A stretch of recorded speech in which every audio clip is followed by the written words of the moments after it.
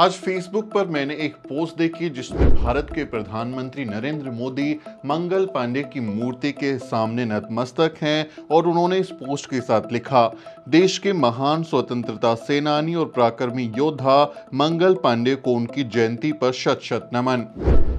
यानी प्रधानमंत्री की पोस्ट से ये साफ़ हो गया कि आज मंगल पांडे का जन्मदिन है और वो उनके सामने नतमस्तक होकर उन्हें नमन कर रहे हैं और महान क्रांतिकारी और योद्धा बता रहे हैं। आप सबको स्कूल में, कॉलेज में, किताबों में ये पढ़ाया गया होगा कि मंगल पांडे भारत के पहले स्वतंत्रता सेनानी थे, जिन्होंने अठारह की क्रांति की चिंगारी को भड़काया। मेरठ की छावनी में वो तैनात थे और उन्होंने कैसे अंग्रेज़ अफसरों को गोली मार दी, जिसके बाद वो विद्रोह पूरे देश में फैल गया और अठारह की क्रांति आज़ादी का पहला स्वतंत्रता संग्राम लड़ा गया। ये इतिहास हमको पढ़ाया जाता है, लेकिन इस वीडियो में आज मैं मंगल पांडे से जुड़ी हुई कुछ ऐसी बातें आपको बताने वाला हूँ, जिससे आपको पता चल जाएगा कि मंगल पांडे उतने बड़े हीरो नहीं थे जितना कि उनको पेश किया जाता है और क्यों उनको सवर्ण होने का फ़ायदा मिला, एक ब्राह्मण होने का फ़ायदा मिला और इतिहासकारों ने उनको महान घोषित कर दिया, जबकि असल मायनों में उन्होंने महानता का कोई काम किया ही नहीं था। सबसे पहले शुरुआत मंगल पांडे के उस उस घटना से जिसको विद्रोह कहा जाता है, उसका ज़िक्र करते हैं। आपको ये बताया जाता है कि उन्होंने अंग्रेज़ अफसरों को गोली मार दी और फिर आज़ादी की जो चिंगारी है, वो भड़क उठी, लड़ाई हुई, लेकिन उसके पीछे कहानी क्या है? वो कहानी ये है कि अंग्रेज़ अफसरों ने जो कारतूस थे जिनको मुँह से फाड़ा जाता था चलाने से पहले, उसमें गाय और सुअर की चर्बी लगा दी थी और जब ये बात मंगल पांडे को पता चली तो वो भड़क गए और वो इतने ज़्यादा भड़के, इतना गुस्सा उन्हें आया कि उन्होंने अपनी बंदूक उठाई और अंग्रेज़ जो अफसर सैनिक थे उनके ऊपर चला दी। अब यहाँ आप एक दिलचस्प बात समझिए ये आ, उनको जब पता चला कि इन कारतूसों में ये चर्बी है ये गाय और सुअर की चर्बी लगाई हुई है उनका धर्म भ्रष्ट होता है क्योंकि गाय को वो लोग नहीं खाते हिंदू हैं ब्राह्मण हैं गाय को नहीं खा रहे तो जब वो मुँह से उसको फाड़ेंगे तो उससे उनका धर्म भ्रष्ट होगा। तो जब उस व्यक्ति को ये बात पता चली तब उसने बंदूक उठाई यानी उसने इस बात के लिए बंदूक नहीं उठाई थी कि वो भारत को आज़ाद कराना चाहते थे।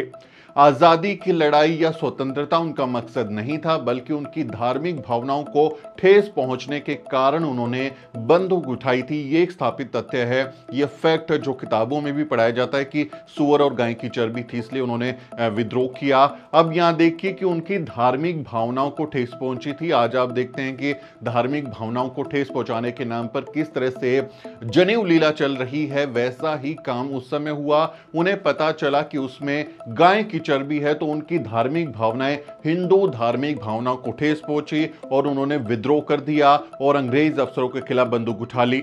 अब सवाल यहाँ सबसे ज़रूरी है, दो सवाल हैं कि जब तक उनको ये नहीं पता था कि इसमें गाय और सुअर की चर्बी लगी है, तब तक वो अपनी हथियार का, अपनी बंदूक का इस्तेमाल किसके खिलाफ कर रहे थे? कब उनको ये पता चला कि इसमें गाय और सोर की चर्बी है? किसने उन्हें बताया? ये सवाल दो बहुत ज़रूरी हो जाते हैं। तो पहले सवाल का जवाब ये कि जब तक उनको ये बात नहीं पता थी कि इसमें गाय और सूअर की चर्बी है, तब तक वो अंग्रेज़ अफसरों के ऑर्डर्स को मान रहे थे। और अंग्रेज़ अफसर किस तरह से भारत के जो लोग थे, उनके खिलाफ विद्रोह करने वाले जो लोग थे, उन पर कितनी ज़्यादा करते थे, गोलियाँ चलवाते थे, जो भी ऑर्डर अंग्रेज़ अफसर देते थे, मंगल पांडे, बिना हिचकिचाए, बिना किसी जवाब को तलाशने की कोशिश किए, बिना किसी कहें की आपत्ति के अपनी बंदूक उठाते थे और अंग्रेज़ों के एक हुक्म पर वो उन लोगों पर गोलियाँ चलाते थे जो अंग्रेज़ी हुकूमत का विरोध कर रहे थे।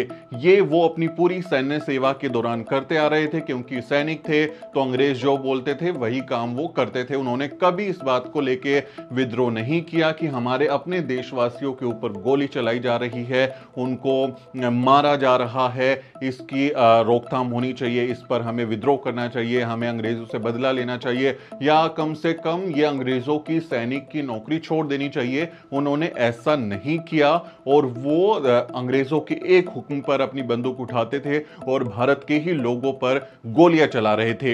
यानी उन्हें पहले आज़ादी का ख्याल नहीं आया था। उनको ख्याल तब आया जब उनकी हिंदू धार्मिक भावना को ठेस पहुँची, कारतूस में चर्बी होने का उन्हें पता चला। किसने बताया? इस पर भी एक बहुत दिलचस्प कहानी है, जो कि इतिहासकारों ने, सवर्ण इतिहासकारों ने लंबे वक्त तक छुपाए रखी। माता दीन भंगी का नाम शायद आप में से कुछ लोगों ने सुना हो। मेरठ छावनी में वो आए थे और कोलकाता में जहाँ पर ये कारतूस बनाए जाते थे, वहाँ काम करते थे।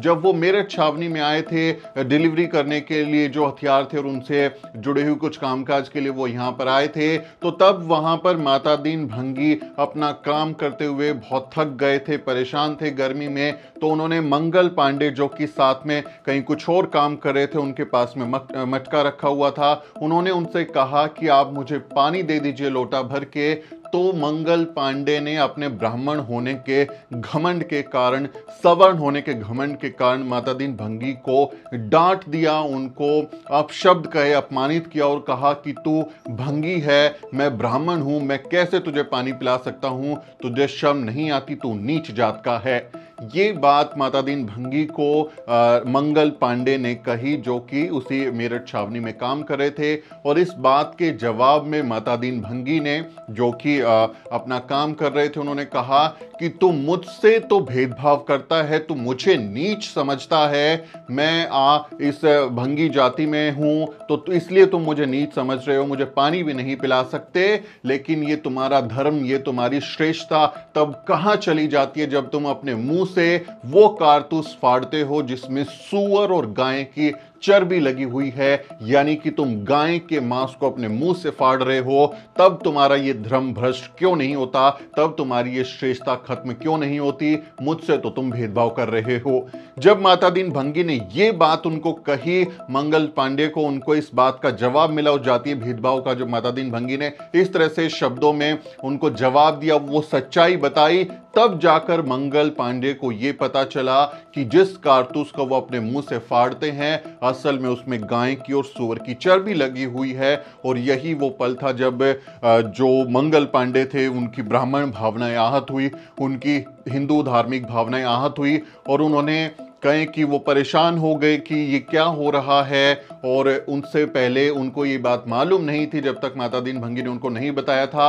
यही वो पल था जब वो थोड़ा परेशान हुए और अपनी धार्मिक भावनाओं को ठेस पहुँचने पर, अपने धर्म पर आँच आने पर, अपनी जो उनकी कहें कि मान्यताएँ हैं उन पर जब सवाल उठाया गया, तब वो ठेस उन्होंने महसूस करी, वो परेशान हुए और अंत में उन्होंने अपनी बंदूक उठाई और अपने जो अंग्रेज़ अफसर थे, सैनिक थे, उनके ऊपर गोल गोलियाँ चलाई। ये बात ये साबित है ये तथ्य है ये फैक्ट है। और ये हमसे छुपा ली जाती है कि उनको ये बात किसने बताई थी। इसलिए मंगल पांडे ने जब बंदूक उठाई, जब विद्रोह किया तो वो भारत को, भारत माता को, जिसे राष्ट्रवादी भारत माता लोग कहते हैं, उसको आज़ाद कराने के लिए नहीं था कि उनको आज़ादी प्यारी थी या देश को आज़ाद कराना चाहते थे, अंग्रेज़ों को मार कर वो बदला लेना चाहते थे। ऐसी उनकी मानसिकता या उनकी सोच नहीं थी, बल्कि उनकी धार्मिक भावनाओं पर ठेस पहुँचने के कारण उन्होंने बंदूक उठाई थी। आज भी आप देखते हैं बहुत सारे लोग धार्मिक भावनाओं को ठेस पहुँचाने के नाम पर किस तरह से भारत में माहौल बना रहे हैं क्या क्या काम कर रहे हैं, वो हम सब जानते हैं, आप भी अच्छे से जानते हैं। तो मंगल पांडे ने अपनी धार्मिक भावनाओं की वजह से बंदूक उठाई थी ना कि भारत को आज़ाद कराने में तो इसलिए उनको स्वतंत्रता संग्राम का सेनानी कहना गलत बात है। भारत के पहले स्वतंत्रता सेनानी कहना गलत बात है।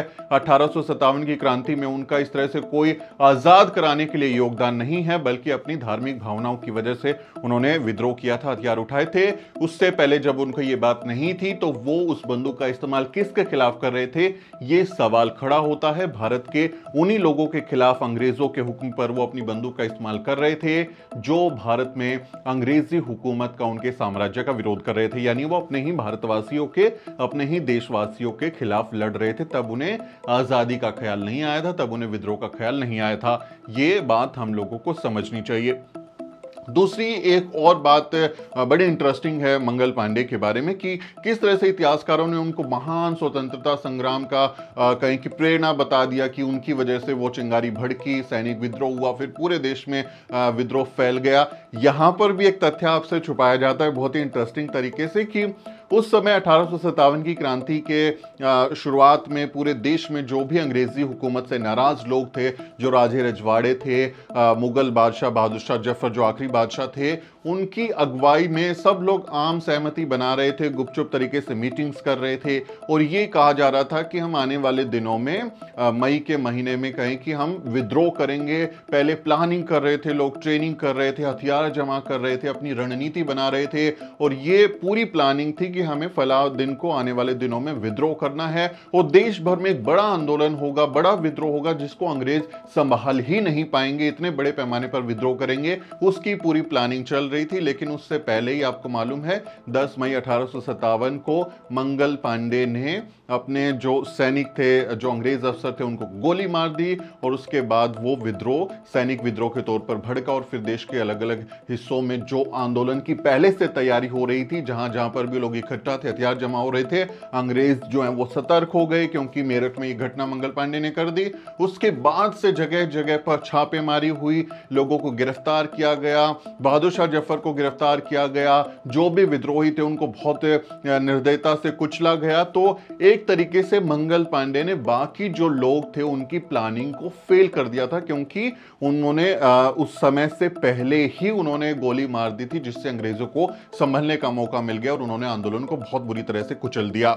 जबकि पूरे देश में अलग अलग जगह पर लोग तैयारी कर रहे थे कि हमें एक बड़ा विद्रोह क्रांतिकारी विद्रोह करना है, जिसको अंग्रेज़ संभाल नहीं पाएँगे, क्योंकि पूरे देश में जब आवाज़ें उठेंगी विद्रोह उठेगा गोलियाँ चलेंगी तो अंग्रेज़ कैसे संभालेंगे? तो मंगल पांडे के ऊपर यह भी दोष है कि उनको आ, उन्होंने उनकी प्लानिंग को खराब कर दिया जो बाकी स्वतंत्रता सेनानी या राजे रजवाड़े जो लोग थे जो भी उस समय लड़ने के लिए काबिल थे वो लोग अंग्रेज़ों के खिलाफ लड़ना चाह रहे थे उनकी प्लानिंग को भी मंगल पांडे ने खराब कर दिया और उसकी सजा बहुत सारे लोगों को मिली कितने लोगों की जाने गई। बादशाह शाह ज़फ़र भी गिरफ़्तार हुए बाकी लोगों को भी गिरफ़्तार किया गया कितने लोगों को सूली पर चढ़ा दिया गया। ये इसकी जो कहें कि अठारह का जो विद्रोह फेल हुआ, उसकी ज़िम्मेदारी भी मंगल पांडे की बनती है, क्योंकि उन्होंने समय से पहले गोली चला दी थी अपनी धार्मिक भावनाओं की वजह से और बाकी लोग तैयारी कर रहे थे उनको, अंग्रेज़ों को संभलने का मौका मिल गया। ये भी इतिहासकार हमको उस तरह से नहीं बताते हैं।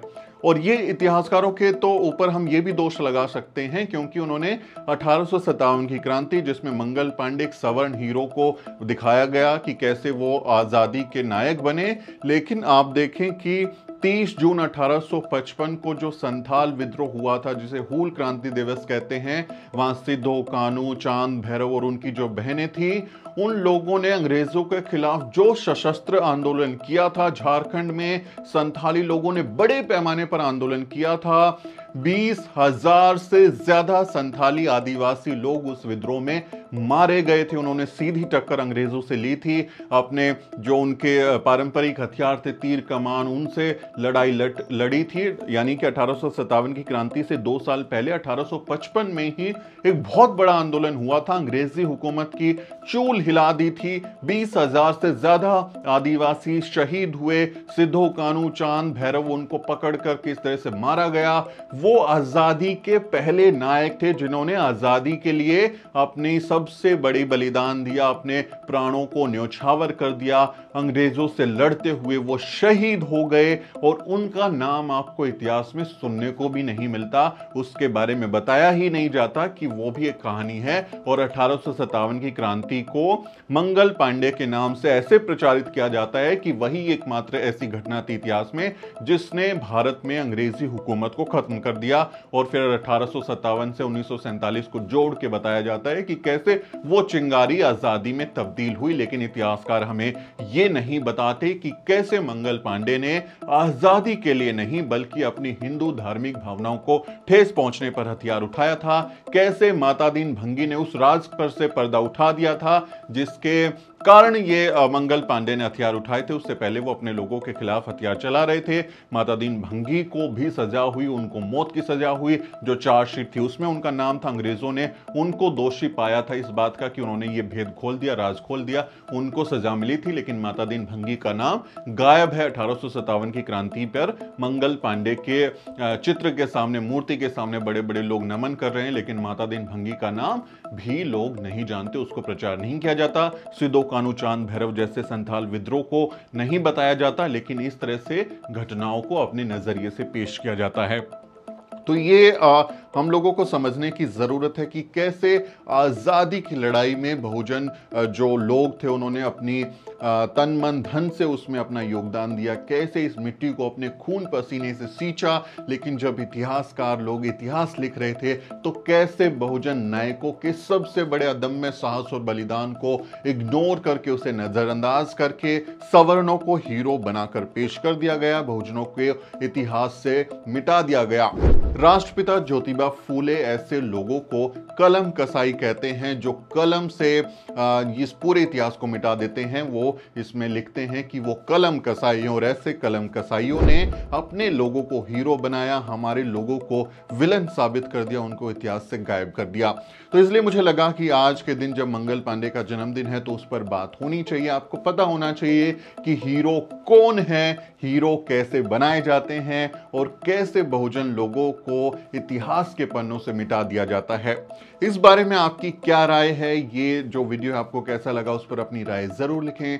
अब से अपील है कि अगर आप फेसबुक पर यह वीडियो देख रहे हैं तो हमारे पेज को फॉलो करें। अगर यूट्यूब पर हैं तो चैनल को सब्सक्राइब करें, क्योंकि हम तमाम ऐसे वीडियो आप तक पहुंचाते रहेंगे। आप अपना साथ बनाए रखें। इस वीडियो में इतना ही, साथियों। मेरा नाम सुमित चौहान है। अगले किसी वीडियो में मुलाकात होगी। तब तक आप देखते रहिए the news week.